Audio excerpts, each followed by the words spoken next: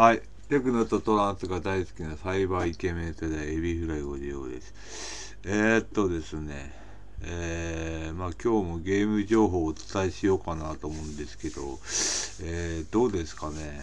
なんかこれが、俺がこうやってずっとこれをスクロールして語ってるだけっていうのはいいんでしょうか。うん。まあ、いいような悪いような うーん、まあ、それだと面白くないんですけど、ちょっとこれ気になりましたね。アドベンチャーゲーム、すみれの空。なんだろう。あー、これもね、アドベンチャーなんですけど、こう映像を見せたいんですけど、映像を見せるとね、著作権がどうのこうのって言われちゃうから、あー、じゃあ、公式サイト見に行きます。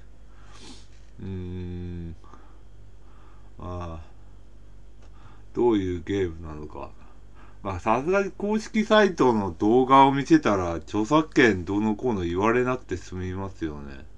多分。ちょ、重いな。なんか公式サイトのくせに重いな。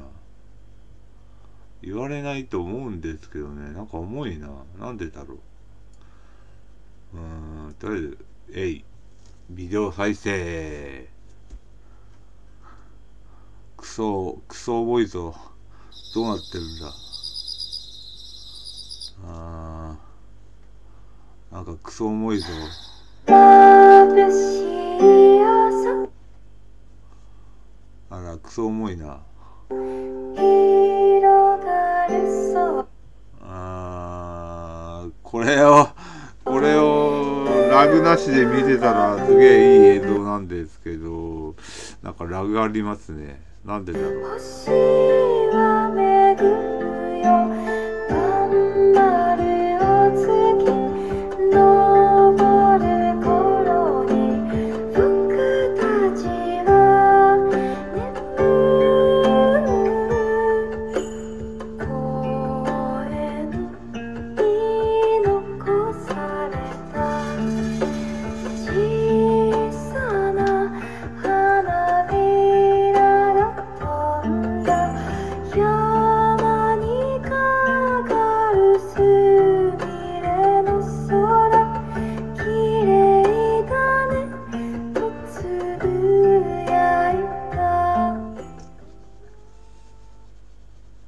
うん。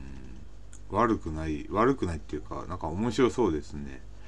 うん。まあアドベンチャーゲーム語だから別に任天堂スイッチじゃなくてもいいんじゃねっていうかね任天堂スイッチえ？これこれ金取るんですか？あー金取るのかな？なんか無料ゲーっぽいんですけどね。なんかこれ、千と千尋じゃないけど、トトロみたいな感じのやつがいいですね。うん。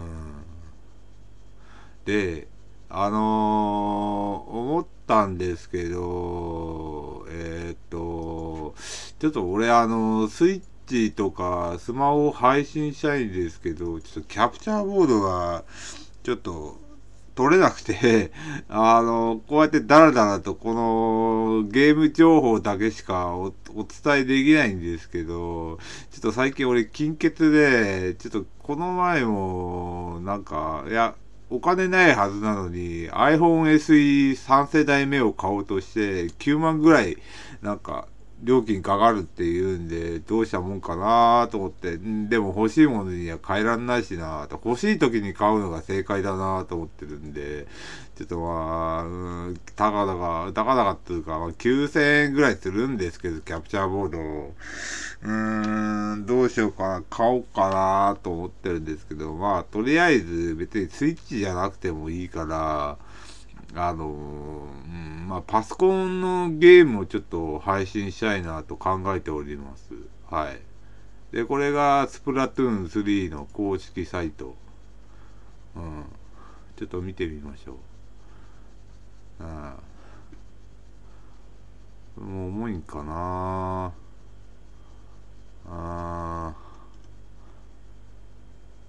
スプラトゥーン3うんこれ本当発売するんですかね？俺買おうと思ってるんですけどこれ本当に2022年夏に発売するんですかね？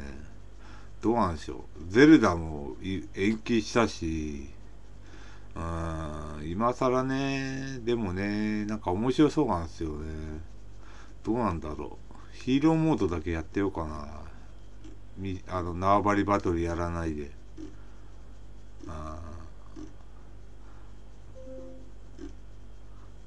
何気なんかこう結構いいやつっぽいんですけどやっぱ俺マウスとキーボードじゃないと FPS やりたくない派なんでまあこれはこれであのー、そのうち続報が出ればあのお伝えしたいと思います。はい。えー、っとえい。うーんう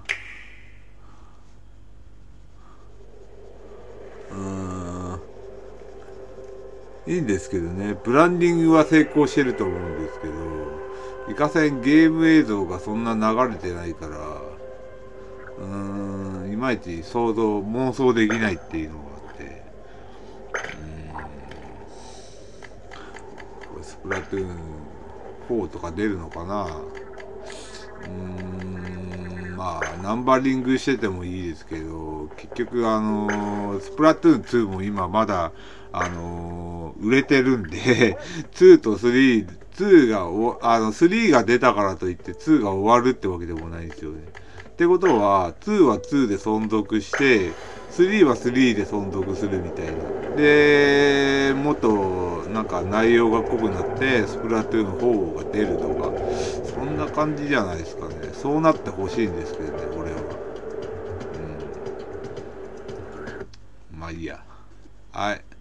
じゃあ、今日はこんなところで終わりたいと思います。あの、グッドボタンやチャンネル登録、えっ、ー、と、あとなんかコメントください。えっ、ー、と、うん。お願いします。それでは。いつでも